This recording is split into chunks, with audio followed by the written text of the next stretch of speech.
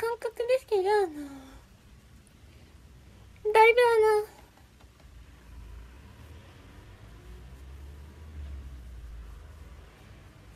あの、あの、だいぶあの、この指の感覚の方にあの集中できるようになってきました。で、あの、集中しなく、あの、これを続けていると、あの、集中しなくても、あの、なんだ？ろう、こっち側、常にこっち側の感覚が、えー、強くなるし、あの、例えば足足の裏の感覚もあって、あの、え皆さんと同じぐらいの、あの、え自分でくすぐっても、あの、くすぐったくないってなるんじゃないかなと思います。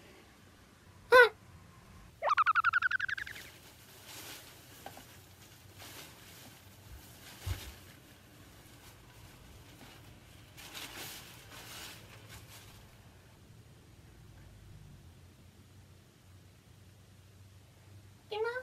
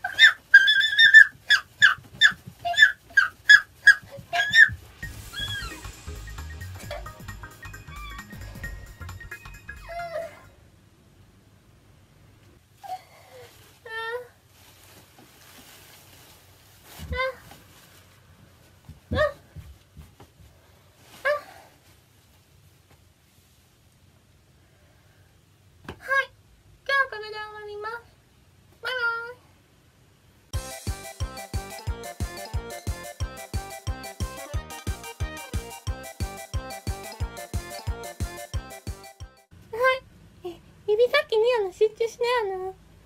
このくすぐるときにあの G のあのえ足の裏あの自分の足の裏っていうかあのなんかこのものとかあの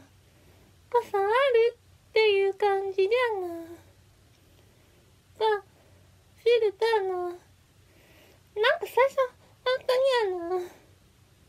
くすぐったくないですくすぐったくないっていうかあの本当にそういう意識してない時とあの今の意識した時とあの違いがすごく出たと思い出ています。